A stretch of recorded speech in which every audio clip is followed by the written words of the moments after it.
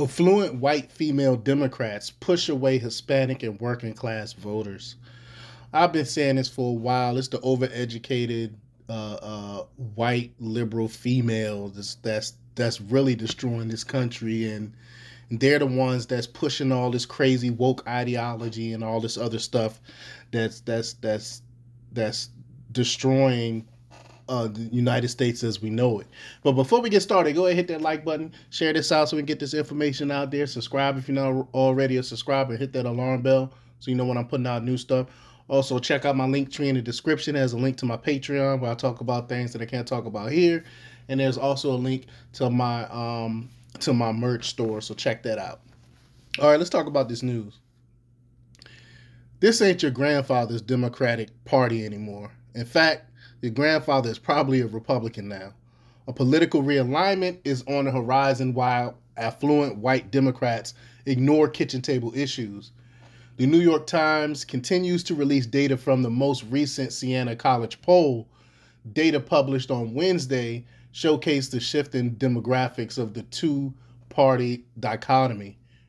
Quote, for the first time in a Time Siena national survey, Democrats had a larger share of support among white college graduates than among non white voters, writes Nate Cohen. As recently as 2016 congressional elections, Democrats won more than 70% of non white voters while losing among white college graduates. 57% of college educated white people support the Democratic Party in the midterm elections, while 36 support Republicans. Not much swaying can occur because only 7% refuse to answer or have yet to decide. When gender is thrown into the equation, another split emerges. Quote, women propel democratic strength among the group, with white college educated women backing Democrats 64 to 30, Cohen says. Democrats barely lead among white college educated men 40, 46 to 45 white voters without college degrees paint a much different picture. 54% of white voters without a college education support the Republican Party, and 23% support the Democratic Party. Undecideds are just uh, um, just as large as those firmly in the Democratic camp, with 23% not knowing who they will vote for. The New York Times analysis in Siena College crosstabs failed to mention the gender split among these voters.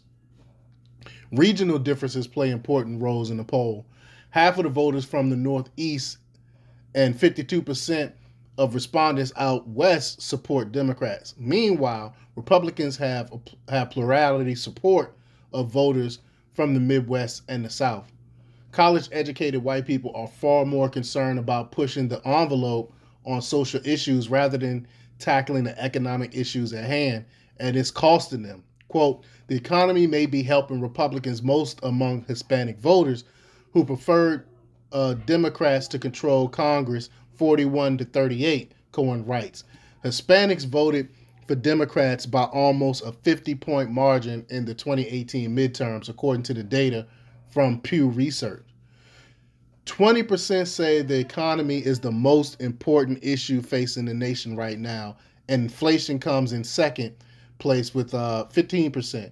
At 28%, Hispanic voters are more concerned over the economy than any other racial or ethnic group and are on par with both white and black voters on inflation.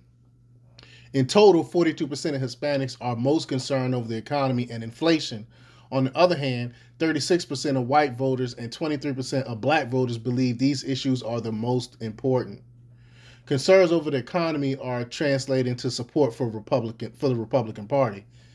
62% of voters say the economy and inflation is the most important issue facing the United States support Republican control of Congress.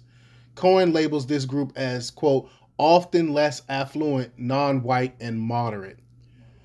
Put two and two together, and you get a Democratic Party reliant on affluent women living in coastal cities. They're unable to maintain support among Hispanic voters because they have the luxury of being able to protest during the weekly um during the weekday while low income voters work for a living. I mean that's that's pretty much common sense. Affluent Democratic voters are quick to accuse Republicans of privilege, but fail to see the privilege in their political priorities. Millions of working class people across various racial backgrounds are, are having to alter their lifestyles in order to provide for their families. Quote, it's the economy, stupid, was was true in 1992 and it's true once again as uh, uh, we we head into the midterm elections. And you and these these these white female liberals are so condescending. They think they're smarter than you and, and and and they tend to be the most racist that I found out of any groups. And they they feign that they care about the working class, but they really don't. With their they, they turn their nose up at people, and these I mean these people are despicable and sick, and they're trying to push their crazy ideological agendas. But let me know what you think about um all this. Leave your comments down below. Like, share, and subscribe, and check out democrepublix.com for the latest in news. Until next time, peace.